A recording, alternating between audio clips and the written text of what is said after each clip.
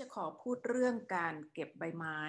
ซึ่งได้พูดไปบ้างแล้ว โดยเฉพาะการเก็บใบไม้ที่มีเยอะๆอย่างนี้นะคะ เป็นเรื่องที่ดีมากเลยที่เราสามารถฝึกให้อยู่กับปัจจุบันขณะ งานเช่นนี้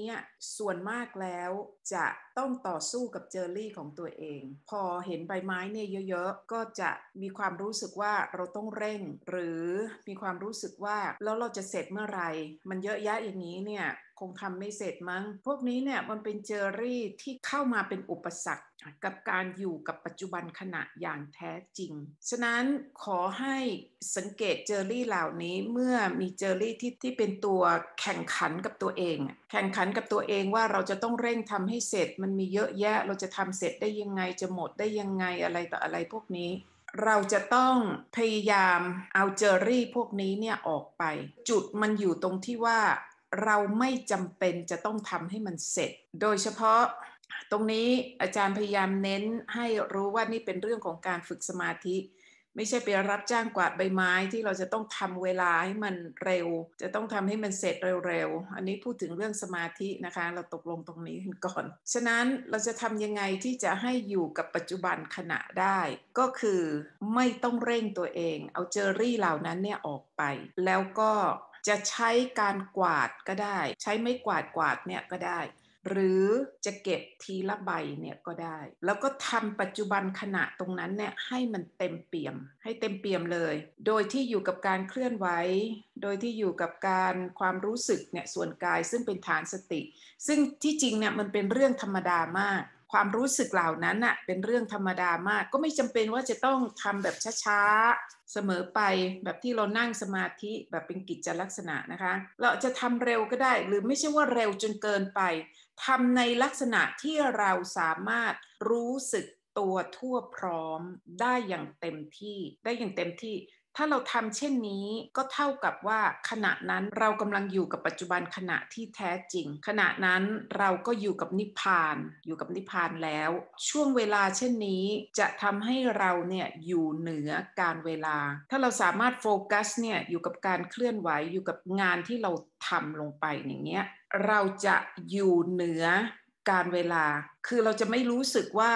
มันจะมีความรู้สึกว่าเมื่อเราทำเสร็จแล้วเนี่ย ถึงแม้เวลาเนี่ยผ่านไปชั่วโมง ชั่วโมงกว่าหรือครึ่งชั่วโมงเนี่ยเรามีความรู้สึกว่า โอ้ มันแป๊บเดียว มันแป๊บเดียว แล้วงานอย่างนี้ถ้าทำอย่างนี้นะคะ เราจะสามารถทำได้นาน แล้วทำอย่างสนุกแล้วก็ไม่เบื่อ แล้วกิจกรรมอย่างนี้แหละ เป็นสมาธิอยู่ในตัวมันเองเลย เป็นสมาธิอยู่ในตัวมันเองเลย แล้วงานพวกนี้เนี่ยดีมากในแง่ที่ว่าเราไม่ต้องใช้หัวคิด งานอะไรที่มันเกี่ยวข้องกับ การใช้มืออย่างเงี้ยใช้มือทำมือจับเนี่ยมันง่ายมากเลย ง่ายมากที่จะทำให้เราสามารถอยู่กับนิพพานได้ อยู่กับภาษาบริสุทธิ์ อยู่กับที่นี่เดี๋ยวนี้เรื่องเดียวกันหมดเลยนะคะ ฉะนั้นสิ่งที่ต้องทำก็ไม่มีอะไรมากไปกว่าโฟกัสแล้วก็ เอาเจอรี่ที่พยายามจะแข่งขันกับตัวเองเนี่ยออกไปเท่านั้นแหละ แล้วก็ทำอย่างสนุกการทำอย่างนี้เนี่ยเราจะมีความรู้สึกว่าเวลาผ่านไปเร็ว แล้วเราก็สนุกจุ่มอยู่กับปัจจุบันขณะที่แท้จริง แล้วจะทำให้เกิดความสงบก็ได้ แล้วการทำงานอย่างนี้นี่แหละคือสิ่งที่ชาวบ้านธรรมดาเขาก็ทำกันอยู่แล้ว คนที่เย็บปักถักร้อย คนที่ทำอาหารนะ เก็บผักเก็บหญ้าอะไรทำสวนอะไรต่ออะไรพวกนี้เนี่ยเขาจะจุ่มความรู้สึกตัวทั่วพร้อมของเขาเนี่ยอยู่กับงานที่เขาทำอยู่กับงานที่เขาทำ แล้วเวลาเนี่ยมันก็ผ่านไป ฉะนั้นประสบการณ์เช่นนี้นะคะ มันจะเหมือนกับที่อาจารย์เนี่ยอธิบายว่าเราได้กินเนี่ยก้อนขาวๆร้อนๆนุ่มๆ แล้วเราก็อิ่มท้องเพราะมัน แต่เราไม่รู้ว่าสิ่งนี้เรียกว่าข้าว จนกระทั่งคนมาบอกภายหลัง ชั้นใดก็ชั้นนั้น สภาวะเช่นนี้ที่จริงเนี่ยทุกคนกำลังจุ่มอยู่กับนิพพาน แล้วก็มีความสุขอยู่กับนิพพาน มีความสุขอยู่กับมันน่ะก็คือ มีความอิ่มพอใจกับ ช่วงขณะที่เรากำลังทำงาน แล้วก็เวลาก็ผ่านไป แล้วช่วงขณะอย่างนี้เนี่ยเราก็มีความมีความสุขพบกับความสงบสุขไปด้วย นั่นก็คือนิพพาน เพราะว่าเราอยู่กับนิพพาน เป็นสภาวะที่นิพพานเนี่ยมาทำให้เราเนี่ยชีวิตของเราเต็มเปี่ยมในช่วงขณะนั้นๆ ซึ่งเป็นสิ่งที่คนหมู่มาก โดยที่คนที่เขาไม่ซับซ้อนในหัวนะคะ ไม่ได้คิดอะไรมากก็คือชาวบ้านธรรมดานี่แหละ ใช้ชีวิตอยู่ไปคนอยู่บนป่าบนเขาบนดอยอะไรเขาก็ทำใช้ชีวิตอย่างเนี้ยแล้วชีวิตของเขาก็เต็มเปี่ยมมีความสงบมีความสุข แล้วสาเหตุที่เขามีความสุขก็เพราะว่านิพพานนั่นแหละทำให้เขามีความสุข ซึ่งการทำเช่นนี้สมาธิเช่นนี้นะคะเขาไม่จำเป็นจะต้องมานั่งขัดสมาธิหลับตาดูลมหายใจเลย เป็นสมาธิที่อยู่ในธรรมชาติอยู่แล้ว ธรรมชาติเขาช่วยเราอยู่แล้วที่จะให้อยู่กับนิพพานเนี่ยได้ ฉะนั้นขอให้พยายามเข้าใจเรื่องนี้นะคะ อย่าคิดให้มันซับซ้อนเนี่ยเกินไป นิพพานเนี่ยมันอยู่เบื้องหน้าของเราแล้ว เพียงแต่ว่าเราจะต้องโฟกัสให้อยู่กับปัจจุบันขณะ และอย่าไปต่อสู้กับแข่งขันเนี่ยกับเจอรี่ของตัวเอง ที่พยายามจะเร่งต้องทำให้เร็ว ต้องทำให้มันเสร็จเร็วๆอะไรต่ออะไรพวกนี้ อย่าทำเช่นนั้น เอาเจอรี่ออกไปแล้วก็เนี่ยทำอย่างนี้อยู่กับปัจจุบันขณะ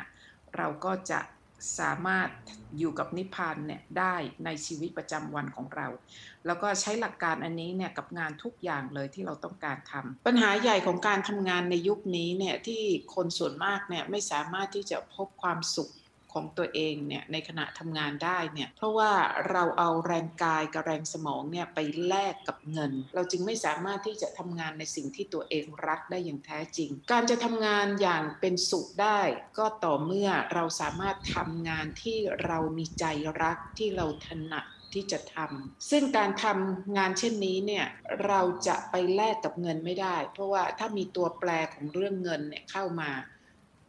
ก็ต้องทำตามสิ่งที่เจ้านายเขาให้เราทำซึ่งอาจจะเป็นสิ่งที่เราไม่รักไม่ชอบก็ได้ แล้วก็ไม่ถนัดด้วย แต่จำเป็นจะต้องทำเพราะว่า เราต้องเอาเงินมาจับจ่ายใช้สอย ฉะนั้นตรงนี้เนี่ยมันเป็นปัญหาใหญ่ของมนุษย์ที่ไม่สามารถทำในสิ่งที่ตัวเองรัก ในอนาคตเนี่ยถ้าสมมุติว่าเราสามารถที่จะเอาเงินเนี่ยออกจากสมการของชีวิตเนี่ยได้ ไม่จำเป็นจะต้องใช้เงิน ก็เท่ากับว่ามนุษย์ทุกคนเนี่ยสามารถที่จะทำงานในสิ่งที่ตัวเองรักแล้วก็ถนัดที่จะทำเมื่อทำเช่นนั้นได้เนี่ยการทำงานเนี่ยก็จะเป็นสุข มากขึ้นเป็นสุขอย่างยิ่งด้วย การสร้างสารรค์อะไรต่ออะไรต่างๆเนี่ยจะเกิดจากการทำงานที่ตัวเองรัก เท่านั้นการสร้างสารรค์เนี่ยที่ยิ่งใหญ่ทั้งหลายเนี่ยล้วนเกิดจากการทำงานด้วย passion passion ก็คือทำเพราะตัวเองรักที่จะทำเหมือนงานที่อาจารย์เนี่ยสุภวรรณเนี่ยทำเพราะว่ารักที่จะทำจึงสามารถทำได้ดี แล้วก็ทำอย่างไม่เห็นแก่ความเหน็ดเหนื่อยอะไรทั้งสิ้น และที่สำคัญที่สุดก็คือเราจะไม่รู้สึกว่าเราทำงาน เพราะว่าในขณะที่เราทำงานเนี่ยเราเป็นสุข งานส่วนมากเนี่ยเราไปทำแล้วมันเป็นทุกข์เพราะว่าเราเกลียดงานนั้นๆเนี่ยมันก็เลยเหมือนกับว่าเป็นภาระ แต่ถ้าใครสามารถทำในสิ่งที่ตัวเองรักได้เนี่ยงานของเขาก็จะออกมาดีด้วย แล้วในขณะที่ทำก็เป็นสุขอย่างยิ่งด้วย ที่จริงก็เป็นเรื่องของสมาธิตามธรรมชาติที่ธรรมชาติเนี่ยให้เรามาแล้ว ก็เหมือนกับว่าเราอยู่กับนิพพานแล้วนิพพานนี่แหละ ที่มาทำให้เราเนี่ยเป็นสุขในขณะทำงาน ฉะนั้นตรงนี้ก็เลยเป็นเรื่องเป็นเรื่องใหญ่ของมนุษยชาติที่ไม่รู้จะทำอย่างไร ตราบใดที่เงินยังอยู่ในสมการของชีวิตเนี่ยเราจะไปเปลี่ยนมันเนี่ยก็เรียกว่ายากมากแหละค่ะ ก็หวังว่าการอธิบายเช่นนี้จะช่วยพวกเราให้เข้าใจการทำงานในชีวิตประจำวันได้ดีขึ้นนะคะ ค่ะ ขอบคุณค่ะ สวัสดีค่ะ